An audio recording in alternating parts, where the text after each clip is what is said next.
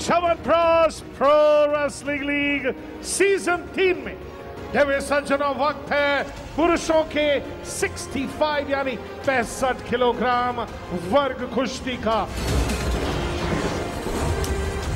Amit Dhankar of the Veer Marathas in the men's 65 kg category.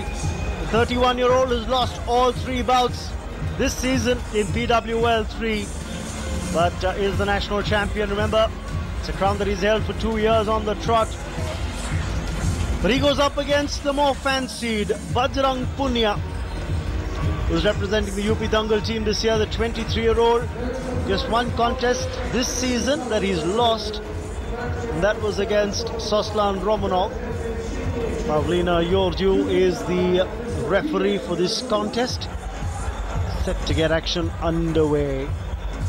Now, this is a very important contest for Veer Marathas. They've got to try and win it. And not just this one, but the remaining two as well Salute. to try and win the tie. No. But for the No, UP no Dangal quality. side, a win here, and uh, they, they take an unassailable 4 1 lead. They do indeed, Raman. So it's all or nothing for them here. Opponents lost a bit on technical superiority, but they are absolutely top international referee uh, wrestlers. Just a point the difference. Amit Dhankar now gets a single leg hold. Tries to convert it to points. It will be two points for a takedown for Amit Dhankar. An aggressive start to the second period of play. Exactly what we wanted. Oh, but look at that. Punia's turned it around. He scored two there and almost went for a pinfall. Amit Dhankar somehow surviving. Now is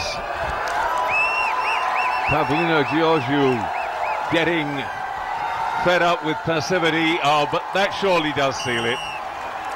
The initial attack from Ami, but Bajrang Punia, as he's just happening at the edge of the protection zone, but inside the competitive area, and therefore two points were awarded. And now Punia, look at how well he's defending. Amit Dhankar was looking for a push out, but he's nimbly just moved across. And now again a single leg hold.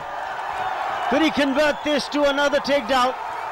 Yes, points being signaled here, and in fact, he could win this by fall. That's what he was trying to do against Amit Dhankar, who does well to recover, but two points for a takedown.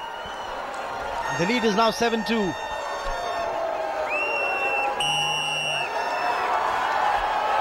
Well, that looked to me like another total control of this bout.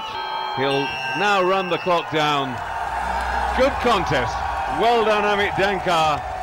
But that means that uh, UP Dangal keep up their 100% record. They've already taken control and won this match. That was their fourth bout.